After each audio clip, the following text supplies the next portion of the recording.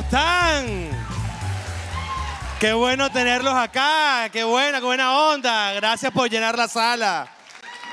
Qué bueno, otro jueves más. Bienvenidos, bienvenidos. Estoy muy contento de que esta sala esté así. Imagínate tú, con este, con este frío que hace fuera. O sea, que uno es Nietzsche. Un fresquito y ya todo el mundo sacó su chaqueta, la bufanda, gente con guantes, porque la gente es así. No, con guantes, porque me da gripe. Eso es típico. ¿Sabes que gente Nietzsche le da gripe por todo? Un maracucho sale Maracaibo y, y cae tieso. Cama, llamen a la abuela. Creo que es mi momento final. Gracias, gracias, gracias. Este, bueno, muchas cosas que decir esta semana. A nivel político en este país la cosa también está movidita. Esta semana vimos todos el- el- la coronación, porque eso no fue toma de posición, la coronación de Trump. Ayer me mandaron un correo, una venezolana en el norte de los Estados Unidos, no me acuerdo qué, qué ciudad. Pues sabes que la gente se muda para vainas locas. Bienvenida, mi amor. Hay gente que se muda para esto un recibo. Eh, hay gente que se muda para vainas locas. Ahorita lo leo. Eh, que- y entonces, Maine, una vaina loca para allá, para el coño. ¿Qué haces ahí? No sé, yo ahora aquí me vine, una prima. Si tú tienes una prima que fuma marihuana y está en Maine, no vayas para allá. Porque tú vas a un lugar re- recóndito que pura vaca y una nieve y una tristeza y una vaina que oscurece a las 3 de la tarde. ¿Para qué? No, no, y sobre todo si eres una gente de Cumaná, por ejemplo, una gente de sol, de playa. Metido en Maine con unas vacas, una tristeza, me quiero suicidar de la ladilla. No, no te vayas para allá. Vente para acá, métete en el Doral, come queso hotelito y vaina de esa. Haz tu vuelta en U. Ya esa vaina está tomada, ustedes saben. Ya los policías como, déjalo, déjalo, déjalo. Déjalo, él no sabe, pobrecito. Él así, es una vaina que trae en el ADN. La gente se lleva kiosco y toda vaina, señal para... es verdad. Pero es que, fíjate, tú sabes, cuando uno estudia aquí el librito ese que te mandan a estudiar para sacarte la licencia, a mí me da risa, porque yo me acuerdo cuando, cuando yo no había presentado el examen, yo duré un año sin sacarme la licencia por irresponsable. Me imagino que ustedes tienen dos y tres, porque ustedes son así. A mí no me engañan. Entonces una amiga me dijo, "Ah, ¿tú vas a presentar el examen? Sí, lo presentaba como en dos días. Entonces me, yo- me dijo, ¿sabes cuál es la vuelta de los tres puntos? Toda mi vida manejando, toda mi vida manejando. La vuelta de los tres puntos. Y tú, bueno, estoy aquí, uno, dos, tres, ¿no? O sea, uno, la vuelta en U, pues la vuelta... No, yo, Harry. Aquí supuestamente eso no, la vuelta de los tres puntos es una vaina que uno hace para adelante, para atrás y para adentro. En mi vida había pensado eso que la vuelta de los tres puntos. Y cuando, uno hace el examen de, de- manejo acá, uno se da cuenta que uno tiene toda la vida manejando muy mal. Cuando te preguntan, ¿usted cuando entra en una autopista, qué hacer?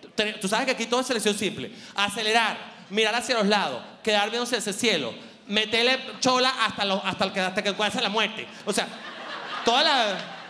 Y uno, yo, siempre, yo respondí como, bueno, como, como buen venezolano, llegar, pararme y ver hacia los lados. No. Uno no puede entrar a una autopista viendo si viene un camión y te va a pisar.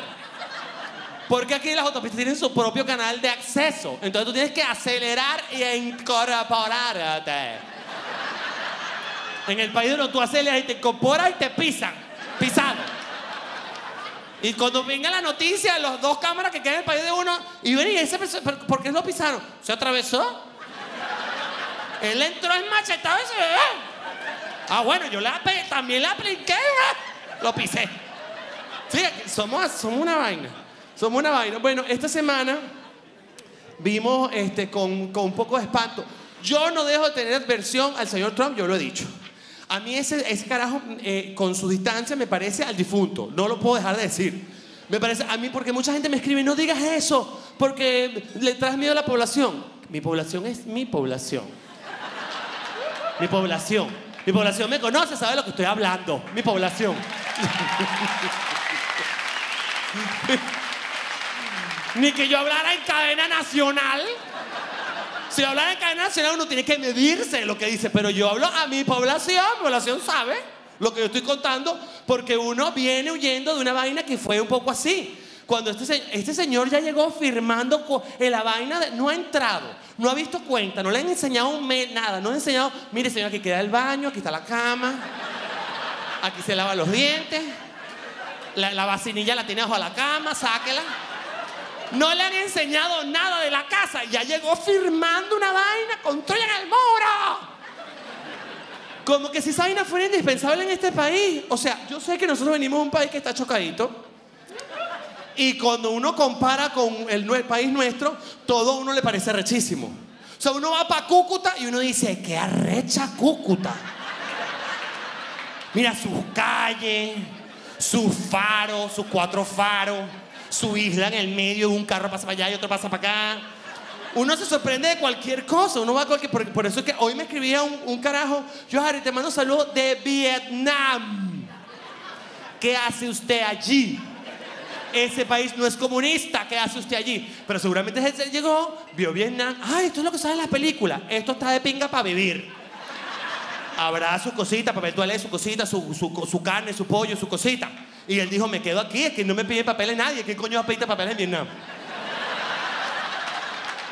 ¿Y qué residencia? No, chico. Son vietnamitas así, dándole duro rápido, para montar una ropa, montar una suta, una ensalada, una, entonces está papeles. So, tú pasas desapercibido con una bolsa y una vaina rapidito. La vaina está tan jodida en el país de uno que la gente arranca. A mí me escriben de cualquier sitio loco del mundo. Aquí estoy en Alaska. ¿Qué hace usted allá, criatura? Bueno, allá se van a Alaska a sacar petróleo y vaina. Bueno, muy bien. Una vaina que anochece todo. O sea, en invierno ahorita está pura noche. Noche, noche, noche, noche. Y en verano es día todo el día. ¿Sabes lo que es las 3 de la mañana y la Pepe Sol? Por eso es que en esos países la gente está cucú. Tú imaginas 3 de la mañana y uno viendo la novela buscando un aliciente. Por eso es que esa gente cae en alcohol y vaina y peo y, y droga y Porque no, tú no puedes, el cuerpo no aguanta. El cuerpo dice, ¿qué pasó? ¿Dónde está mi noche? ¿Dónde está mi atardecer? ¿Dónde está mi momento de mi, de- mi cafecito en la tarde ya cayendo? La... Nada de eso existe. El sol prendió así, vuélvete loco, vuélvete loco. Queda loco para siempre, loco. Y después, noche, noche que no sale nada. Por ahí unos ojos brillantes. Tú no sabes si es un zorro, si es un oso, si es un venado. Yo viviera cagado. Porque tú me dijeras, no, bueno, tú estamos rodeados de venados, pero tú no sabes si es un oso que está así. Ajá. Este es latino. O es un venado, o es un zorro, o es una hiena, o es una vaina mala que te está acechando ahí entre la montaña. Y tú, porque uno no está acostumbrado a eso. Uno viene de un país en donde un animalito de nosotros, Rabi Pelado, chico, miso, ven acá. Y Rabi Pelado se echa para allá. Un perrito de la calle, un gatico de nosotros. Nuestros perros en la calle son lo máximo. Yo estudié en la Universidad Central de Venezuela, como muchos de ustedes saben. Me gradué ahí, gracias. La única persona que aplaudió, la única persona que estudió en este grupo. Yo estudié ahí. A mí me encantaban mis perros de, de- de la universidad, perros de la calle, perros cultísimos, cállate. Perros que tuvieron clase de derecho, de arquitectura, farmacia, medicina. Perrito de la calle de todos nosotros. Entraba en la, en la escuela de comunicación, carajo decía, no, esta clase ya la oí, voy para otra. Y, y decía, "Esto está- están aplazados todos. Perrito de lo que tú le das empanada y esos perritos contentos. Te amaban, esa gente culti... Mira, tú le das el poder hoy a un perro de eso y lo maneja mejor que esta gente. Una gente que tiene varias carreras. Me voy a desnudar aquí. Este es el único momento porno del show. Si vinieron por pornografía, esto se lo lamento.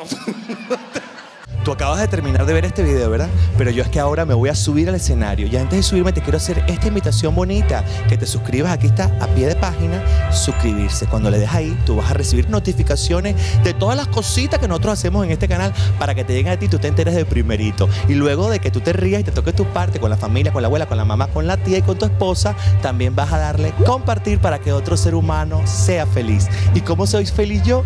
Cuando tú le des like. I love you.